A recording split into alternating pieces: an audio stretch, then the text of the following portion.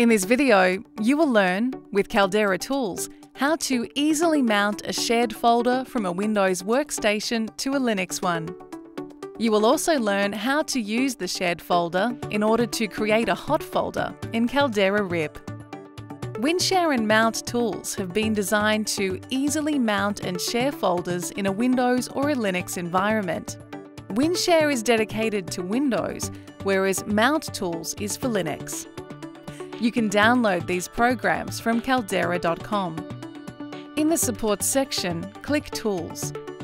Instructions for the installation are also available on the same page.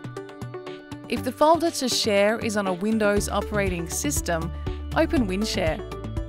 There, you are able to see not only the IP of all network cards and the session's name of the workstation, but also to create a shared folder.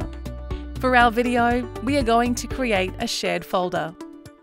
To do so, click New Share. Choose the folder path, add a name and a short description.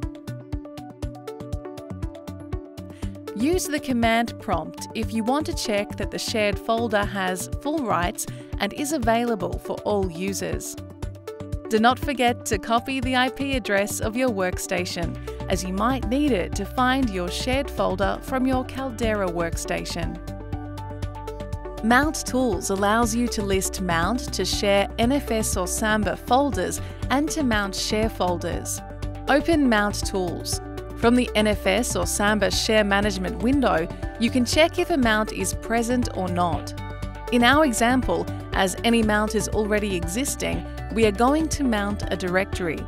There are several ways to mount share folders with Caldera Mount tools, FS Tab and Auto Mount. We are going to use the option SMB Auto Mount.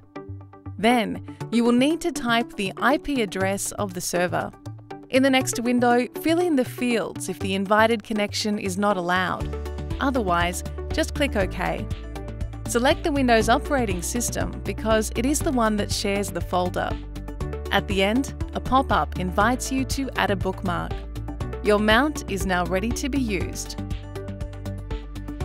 In this video, we are going to create a hot folder from a shared folder.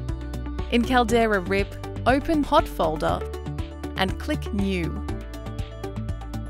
Then, select the tab and add the Paths folder. To be sure that the mount is functional, test it by adding files into the shared folder. For any help with our software, be sure to visit our Caldera Desk Knowledge Centre.